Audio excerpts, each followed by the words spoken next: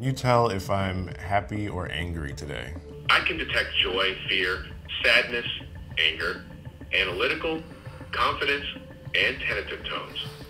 For example, I can tell you are feeling happy today.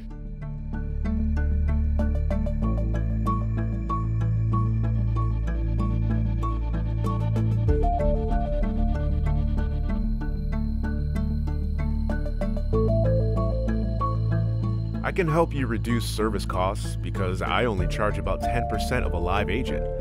I can help you extend your service hours because I work 24 7 and never take a break. The process of synthesizing a voice is really synthesizing the sounds that are in the audio files and in the data. Um, we don't even necessarily need to understand that it's English. We don't need to understand that it's words. We are capturing all of the audio data and all of the combination of frequencies and vibrations that are, are inherent to a voice that as a human we would recognize is a voice. But the machine just is guessing sounds, and eventually those sounds and those patterns turn into something that again we recognize as a human voice. We could aim for perfection, but human voice is not perfect, so we aim for human naturalness instead.